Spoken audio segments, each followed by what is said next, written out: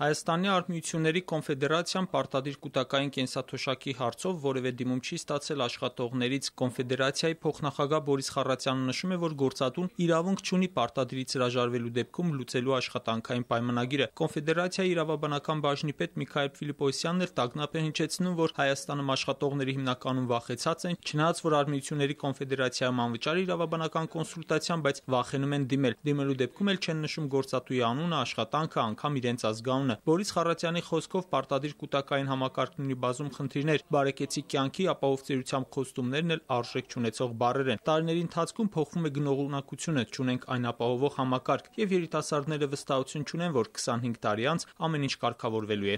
«Վերջին շրջանում շատ հաճախ խոսվում է այն փաստի մասին, որ աշխատողները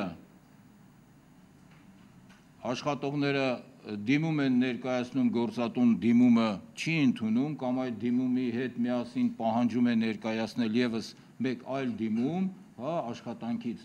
ազատվելու համար, ուղղակի պետք չէ այդ գործողությունը կատարել: Դիմումը պետք է ներկայացվի, բայց երկրորդ դիմումը պետք չի գրել, որովհետեւ օրենքը շատ հստակ սահմանում է որ դեպքերում եւ ինչ հիմքերով կարող է գործատուն իր նախաձեռնությամբ լուծել աշխատանքային պայմանագիրը աշխատողի հետ»: